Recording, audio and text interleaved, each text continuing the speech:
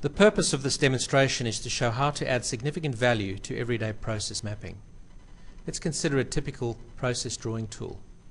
Here's an example of a drawing tool, and if we were to map a business process, this one happens to be constructed in swim lanes, where each swim lane across the process map is one role. This one is purchase officer.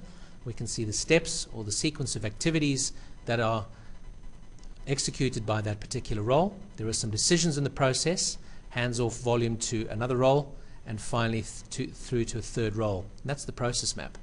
And that is in fact the problem with this particular use of tool. It draws a process, and once it's been drawn, it can either be pasted into a report, or more commonly, it gets filed in a bottom drawer to be forgotten forever. Let's consider a process modeling tool. This is an example of a tool, and we can see that the first thing that makes it different is that it is supported by a database. It has a object repository. You can see the different classification folders here for the different drawing objects, steps, roles, decisions, all those kinds of things, which supports the feature of capture once, use many. So once you've captured an object, you can reuse it many times. Let's show how to map the process using a modeling tool. It's pretty similar to a drawing tool. Here is exactly the same process map as we've constructed earlier with three swim lanes representing the three roles, the steps and the decisions in the process. Notice that we've got three pathways through. This one happens to contain 60% of the volume and the path 2 down through the no decision contains 40% and path 3 which is a scrap step uh, some 10% of the total volume. Let's go and add some process metrics to support further analysis. There are two kinds of metrics we need to consider. One concerns the roles themselves, and the other one concerns the actual steps in the process map. So let's look at the purchase officer role. And most important metric for that particular role is the annual cost. We're going to be running an activity-based cost model, so we need to know what the annualized cost of that role is. And these typically contain on costs. The second kind of metric con concerns those around process steps. The first step being to receive a purchase order from staff, and there are times that we can add to the particular step. There are two kinds of time. One is duration, which is the amount of time spent working on the step, and in the unit of measure of hours, this represents six minutes for that step. The second kind of time metric is one uh, which is called lag time, and this drives the overall elapsed time of the process. So we add those two metrics to the process map. Once we've captured all of the metrics in our map, we're ready to run the model. So let's have a look at the impact of workflow through the process.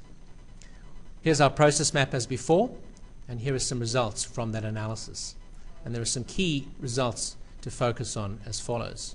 Firstly, we can see that there are three pathways as indicated by these colors. Pathway 1 is 60% of the volume th flowing through the yes decision all the way to the end, and that's a cost of $100 per iteration. Pathway 2 is where the decision at the valid purchase order is a no, and that is 30% of the time. That particular path costs us twice as much. That's a $200 pathway. Please note that the 30% is derived from 75% of 40%, so it's a pathway percentage. It's not an instantaneous split. And path 3, $60, 10% ends up as scrap. Some of the key or DNA metrics of this process are as follows. The duration is two and a half hours.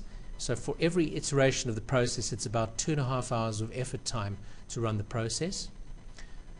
The elapsed time from start to finish, including wait time, is just short of 14 hours per iteration. On average, the process costs $126 to run once. If we add the annual volume of 10,000 units, it's approximately $1.26 million per annum to run the process. I'd like to draw your attention to path two. One of the benefits of using modeling tools is that it allows us to investigate which paths contain the most potential in terms of process improvement. So we would look naturally at improving pathway 2 as it represents a fairly significant volume at double the cost of the other path. The objective being to get as much volume traveling through path 1 as possible. So let's go and look at the improved process. Two things to consider. One, we have influenced the volume by moving it up from 60 to 80% through path one. And the second thing is these were in the past quite laborious manual tasks, we've sped them up dramatically by adding some automation, perhaps some workflow to assist those particular steps. If we run the analysis, we can see that that problematic path 2 is now only 15% of the volume and the cost has dropped dramatically from 200 to $120. We can also see that the duration has come from two and a half hours down to two hours. The elapsed time has come plummeting down from 14 hours to around three hours. That drives customer service. And the cost on average for one iteration is $100. At an annualized volume of 10,000 times, we can see that the annual cost of the process is a million dollars. That's a significant saving. Looking at the business case for change, if we look at the per process or per completed cycle metrics, we can see the duration has come down. Obviously, it's directly related to activity cost. That's a 21% saving. If we look at customer service metrics, we can see that we've improved that by a massive 77% in terms of cycle or turnaround time. And overall, if we look at the cost of the business, there's the 21% or $260,000 of savings. What does this mean for your project? If we, if we plot a simple graph of the type of outcome you're looking for from your project against the amount of effort required and therefore fees, and we pick a midpoint, let's say for argument's sake you're undertaking some sort of business process reengineering, using drawing tools, because of their very limited functionality, you end up with an, a fees or an effort and fees result out here on the graph.